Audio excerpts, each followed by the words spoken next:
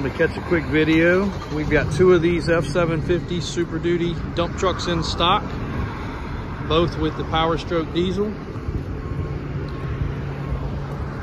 A 2019 and a 2021, both on alloy wheels, Michelin tires. One has 9,000 miles and one has 11,000 miles. Both trucks still fully under factory warranty.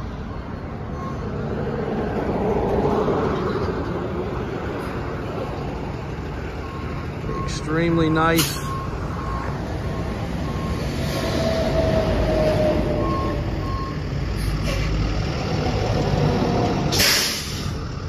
Push button tarp, PJ body.